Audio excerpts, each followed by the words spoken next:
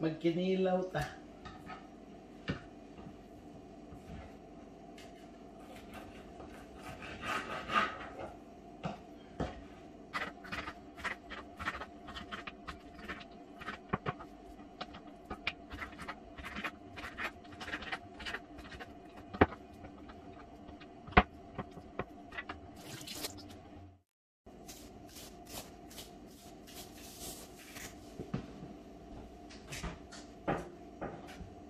Then, Datu Puti vinegar because already clean already I wash it properly.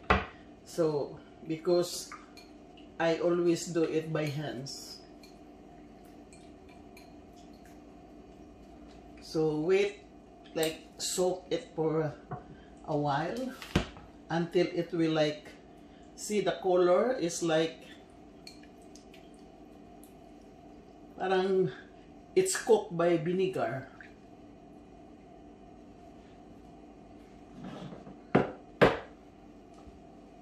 So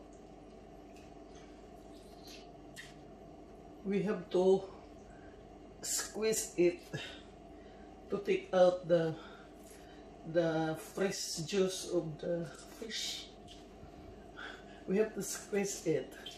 So the the water of the fish is really gonna.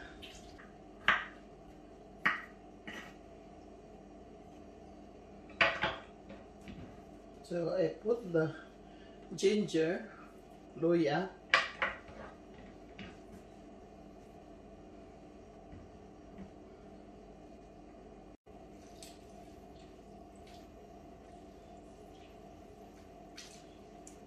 I don't put in uh, vinegar anymore, only lemon.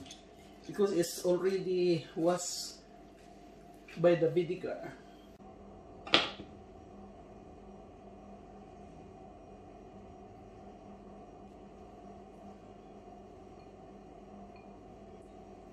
So that's my fish salad. I just try if it's okay for the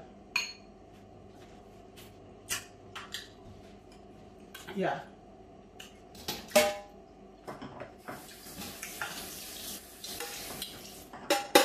That's it